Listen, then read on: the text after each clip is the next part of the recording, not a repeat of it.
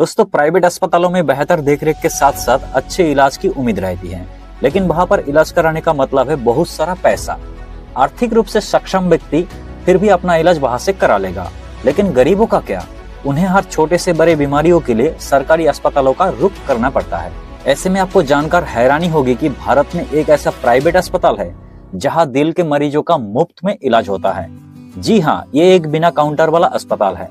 यहाँ पर केवल भारत के ही नहीं बल्कि कई और देशों से भी लोग अपने बच्चों के इलाज के लिए यहाँ पर आते हैं। इस अस्पताल का नाम है श्री सत्यसाई संजीवनी अस्पताल। श्री सत्यसाई संजीवनी अस्पताल देश का एकमात्र ऐसा अस्पताल है जो बच्चों के दिल के बीमारियों के लिए समर्पित है। पूरी तरह से निःशुल्क सेवा देने वाले इस अस्पताल में दुनिया भर से आए बच्चों के दिल का बीमारियों का इलाज होता है।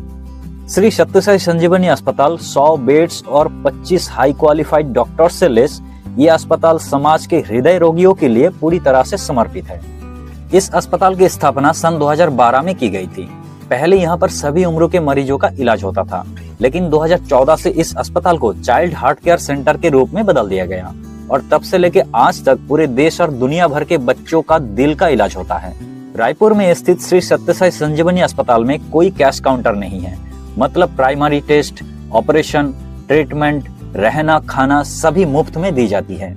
इस अस्पताल में 12 वर्ष से कम आयु वाले बच्चों के साथ में दो व्यक्ति और 12 वर्ष से लेकर 18 वर्ष तक के आयु वाले बच्चों के साथ में एक व्यक्ति की रहना और खाना मुफ़्त में मुहैया कराई जाती है। श्री सत्यसाई संजीवनी अस्पताल में 25 तरह के दिल के ऑपरेशन फ्री में की जाती है।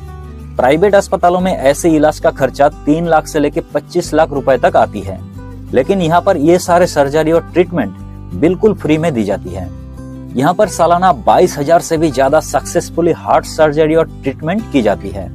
रायपुर के श्री सत्यसाई संजीवनी अस्पताल में अब तक भारत के 28 राज्य और कई सारे देशों से भी लोग अपने बच्चों के दिल का बीमारियों का इलाज कराने के लिए यहाँ पर आते रहते हैं। इस अस्पताल के कैंपस के अंदर एक शानदार मंदिर है। वहाँ पर रोज़ाना ऑपरेशन होने वाले बच्चों के लिए सारे लोग मिलकर प्रार्थना की जाती है।